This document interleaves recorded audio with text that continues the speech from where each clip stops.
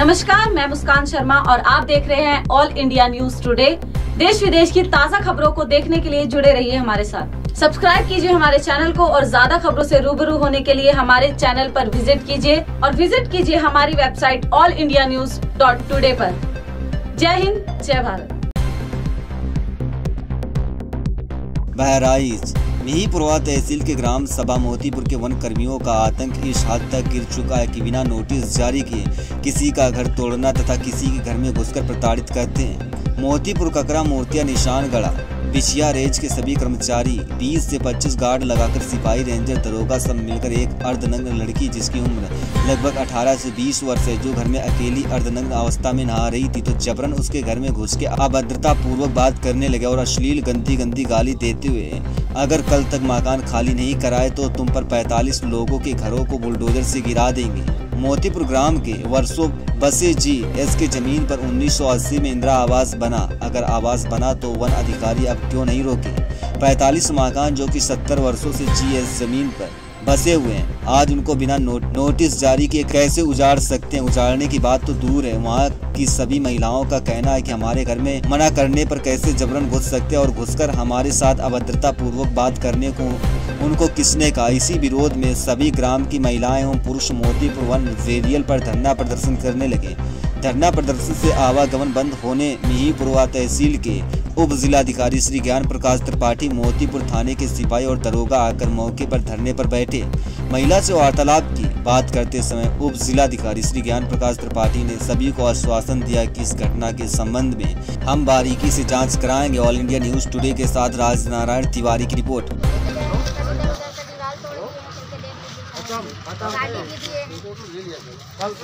बेटा एक फ़ोटो ले लो वीडियो बना लो। मैंने क्या करूँ? सर हमारे मतलब सर हैं। बिना नोटिस के वो एंट्री कर रहे हैं। कभी नोटिस भी नहीं देते। चलिए आप लोग एक एप्लीकेशन दे दीजिए। पहली बात है कि अगर जाँच में सही तरह की कार्रवाई होगी। और ये जो है जाँच हो जाएगी आपको पहले नोटिस मिल के तभी।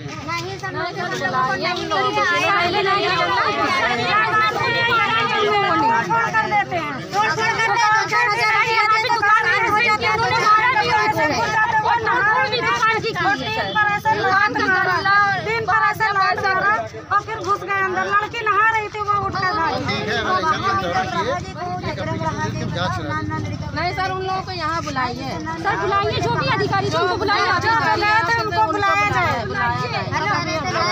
कनेक्शन है यहाँ पे दीवार कैसे आ जाए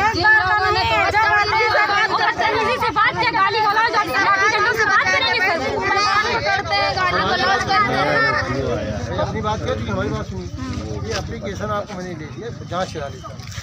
जाँच कराने के जो इसमें किसी गलती के खिलाफ कार्रवाई होगी अब आपका ऐसे नहीं हटाया जाएगा। अगर कोई कहीं आपने बना भी दिया है तो जाँच होगी। जाँच होने आपको बताया जाएगा भाई कि आपकी नोटिस में कि आपने गलत बना दिया सही बना दिया। कार्रवाई होगी जब चाहो जब चाहो तब आके गिरा दो जब चाहो जब धमकी दे दो हम लोग। ठीक है तो घर खाली कर दो। ऐसे कहा हम लोग कर पाएँगे एक एक लोग बात और इंदिरा आवास जब बना था तो आप लोग कहाँ हैं तो गल्ला पानी उठा के फेंक देते हैं यहाँ पर दुकान है उठा के फेंक देते हैं। अगर हम कहाँ चले जाओ जाए हम लोग कहाँ चले जाओ जाए नोटिस देके आपको बताएँगे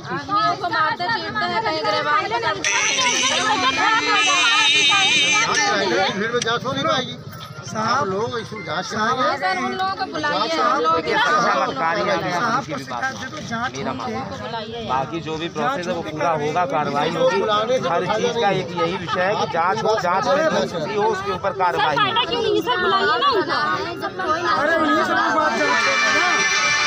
हम लोगों का काम है उन्होंने बगैर बात की जो आपने दरखास्त दी है उसके साथ जाँच जी सर। जी हमारा अच्छा आप बताइए आपका नाम? मैं जुग्गीलाल यादव समाजवादी पार्टी का बहुत पुराना इस क्षेत्र का मैं प्रतिनिधित्व करता हूँ। और ये वन कर्मियों का वन कर्मियों का जो आतंक है इससे आप रूबरू वाकिफ भी हैं और आप उनके बारे में क्या कहना चाहते हैं? नहीं नहीं खुलेआम गुंडई है। अच्छा। और ये जाति है गरीब लोगों का। ये आज से नहीं कम से कम 40 वर्ष से तो मैं देख रहा हूँ इनको। मैं यहाँ पढ़ता था तब से मैं जानता हूँ कि यहाँ बैरियल था। यहाँ के लोग दुकानदारी यहाँ अपन करते हैं झोपड़ी में। और कुछ गुमटी रखे हैं कोई सिलाई का काम करता है कोई चाय बनाता है कोई फल बेचता है कोई साइकिल रिपेयर का करता है कोई मोटरसाइकिल जो आज अच्छा जो आज की घटना हुई है जी।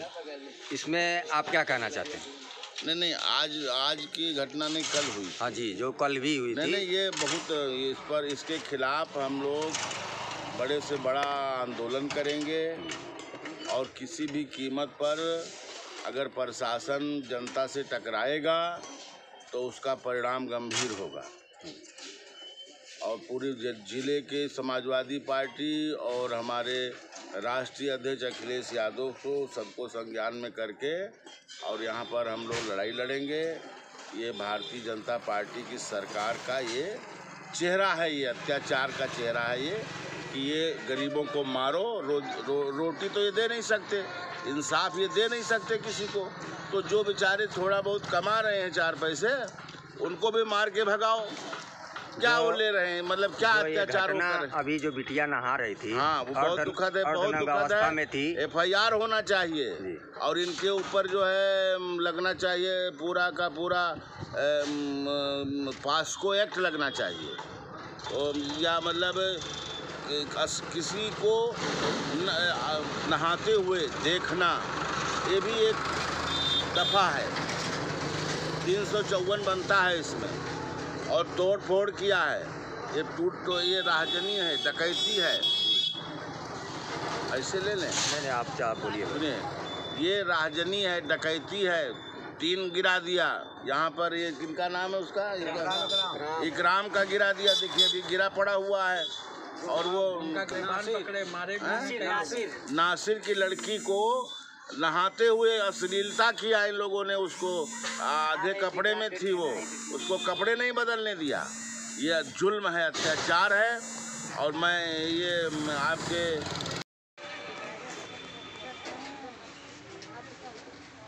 बीसों हज़ार आदमी लेकर के घिराव करना है। यह मुख्यालय पर किशोरी जी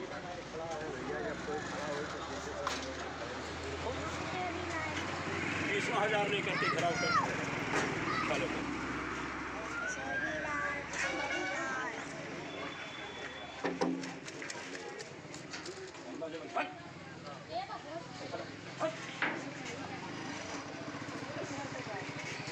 ये जितने भी ज़मीनें हैं, ये एक इंदिरा आवास है।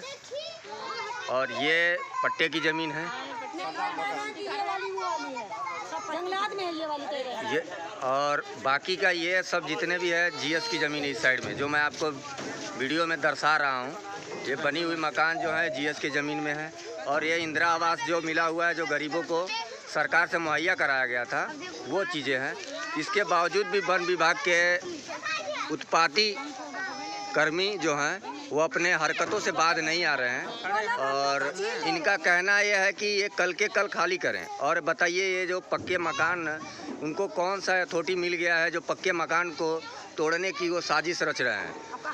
और साजिश रच भी रहे हैं तो उनको नोटिस नहीं है। नोटिस बिना नोटिस के कैसे कर सकते हैं?